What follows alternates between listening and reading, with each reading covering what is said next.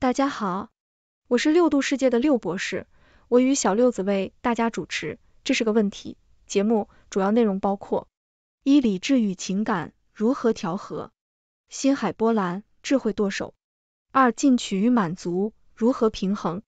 心之所向，步履不停。三、遗忘与记忆如何选择？往昔尘封，记忆永存。那么，小六子可以先跟我们说说理智与情感。如何调和？心海波澜，智慧舵手。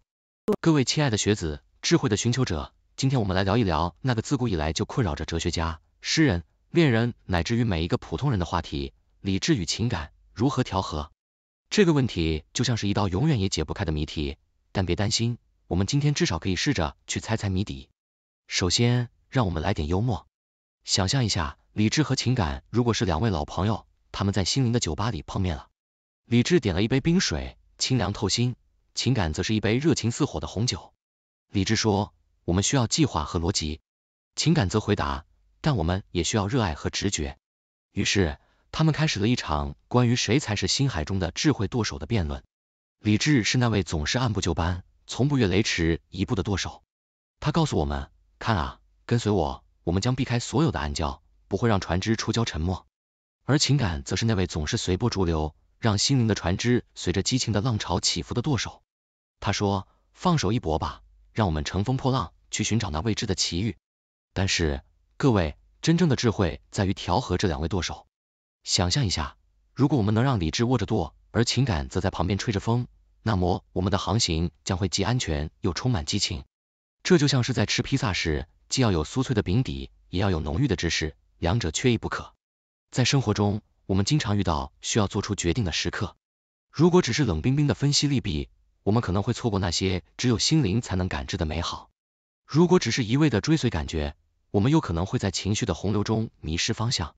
因此，我们需要的是一种平衡，一种既能听取理智的建议，又能感受情感的指引的能力。这种平衡并不容易达成，它需要自我认知、自我控制，还有那么一点点的艺术感，就像是在紧绷的弦上跳舞，既要有节奏感。也要有灵活性。最后，让我们以一个小故事作结。有一次，理智和情感一起去爬山。理智带着地图和指南针，情感则带着音乐和美酒。在攀登的过程中，理智指出了最安全的路径，而情感则在每一个休息点创造了难忘的回忆。当他们到达山顶时，理智建造了一个避风的庇护所，情感则点燃了一个篝火。在那一刻，他们明白了，无论是攀登山峰，还是航行星海。理智与情感的和谐共处才是最美的风景。所以，亲爱的学子们，当你们的心海波澜壮阔时，不妨让智慧舵手来引导你们的航程，让理智与情感和谐共舞，共创人生的美妙旋律。谢谢小六子的介绍。那再跟我们介绍一下，进取与满足如何平衡？心之所向，步履不停。好吧，各位听众，今天我们来聊聊一个古老而又现代的话题：进取与满足之间的平衡。这可是自从人类发明了想要更多这个概念以来，就困扰着无数哲学家、心理学家，甚至是周一早上不想起床的你我他。首先，让我们来定义一下进取和满足。进取就像是你对那块巧克力蛋糕的渴望，永远想要多一点；而满足则像是你吃完蛋糕后那种哦，我的天，我再也吃不下了的感觉。进取是动力，满足是安宁。但是，如果你只有进取没有满足，那你可能会变成一个永远追逐风的堂吉诃德，只有满足没有进取，那你可能会成为沙发上的马铃薯，享受着此生已足够的安逸。那么，如何平衡这两者呢？这就像是跳舞，你得随着音乐的节奏前进和后退。当你感到内心的渴望时，就向前迈进；当你觉得自己需要喘息时，就稍作停留，欣赏一下周围的风景。有趣的是，历史上有不少人物都在这两者之间找到了自己的节奏，比如说。古希腊哲学家亚里士多德，他提出了中庸之道，主张在两个极端之间找到平衡；而在东方，老子则说知足者富，强调满足的重要性。但是，我们也不能忘记那些永远不满足的人。比如说，有一位名叫亚历山大的马其顿国王，他征服了当时已知的世界，但据说他在看到更多未知的领土时哭了，因为没有更多的世界可以征服。这就是进取心过强的一个极端例子。所以，亲爱的听众，心之所向。步履不停，但别忘了偶尔停下来，享受一下你已经拥有的一切。进取与满足之间的平衡，就像是做一道精致的菜肴，需要恰到好处的调味。太多盐，你可能会渴得喝下整个太平洋；太少盐，你可能会怀疑自己是否在吃白开水煮的菜。最后，记住，人生不是一场马拉松，也不是一场素食餐，它更像是一场精心策划的盛宴，需要你既要有品尝每一道菜的耐心，也要有期待下一道佳肴的兴奋。平衡进取与满足，就是在这场盛宴中找到你自己的节奏，享受每一个瞬间，同时期待着未来的可能性。谢谢小六子的介绍，那再跟我们介绍一下遗忘与记忆如何选择。往昔尘封，记忆永存。遗忘与记忆，这是一对自古以来就纠缠不清的老朋友。想想看，如果你的大脑是一个无比精密的图书馆，记忆就是那些被精心归档的书籍，而遗忘则是那个不时来访的捣蛋鬼，偶尔把书本藏起来。让你找不到，但是遗忘并不全然是坏事。想象一下，如果你记得生命中的每一个细节，每一次尴尬的失误，每一句不经意的冷言冷语，那生活将会是怎样的一番景象？有时候，遗忘是大脑的一种自我保护机制，它让我们能够放下过去，继续前行。另一方面，记忆是我们身份的基石，它们塑造了我们是谁，影响了我们的决策和情感。记忆中的美好时光，可以在灰暗的日子里提供慰藉。而过去的教训，则是未来成功的基石。那么，我们如何选择遗忘与记忆呢？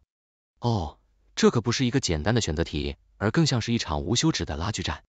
有时候，我们试图抓住那些溜走的记忆，就像试图抓住水中的鱼一样；而有时，我们又会努力忘却那些不愉快的经历，就像是试图在沙滩上抹去自己的脚印。让我们来讲一个有趣的故事。古罗马的诗人奥维德在他的作品《变形记》中讲述了一位名叫勒修斯 （Lethe） 的河神。勒修斯河的水有遗忘的魔力，灵魂在投胎转世前会在这条河中饮水，从而忘记前世的记忆。这个故事告诉我们，遗忘有时是一种新生活的开始。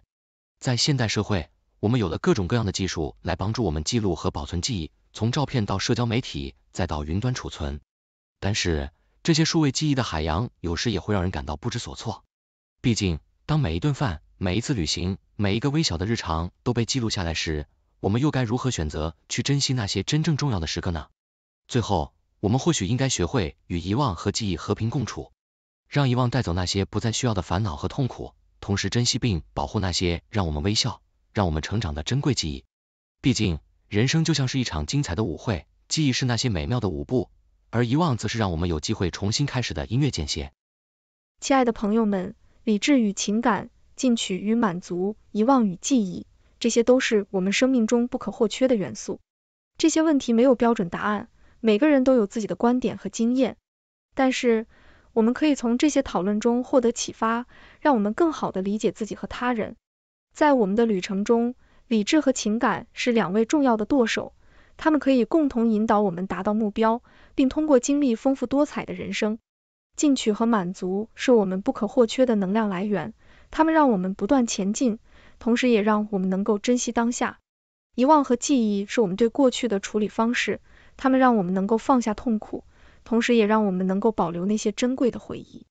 我鼓励大家保持开放的心态，尝试在理智和情感之间找到平衡，在进取和满足之间保持节奏，找到自己的步伐，在遗忘和记忆之间寻找和平。